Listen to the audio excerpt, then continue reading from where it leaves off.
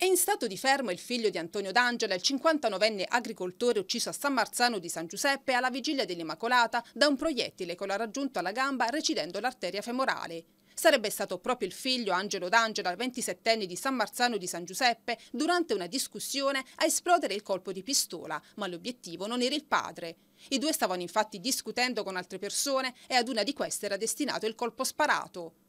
Il proiettile avrebbe raggiunto da distanza ravvicinata il genitore, un colpo quasi a bruciapelo che ha provocato un'emorragia evidentemente impossibile da fermare, tanto che il 59enne è morto dissanguato, dopo essere stato trasportato proprio dal figlio all'ospedale Giannuzzi di Manduria.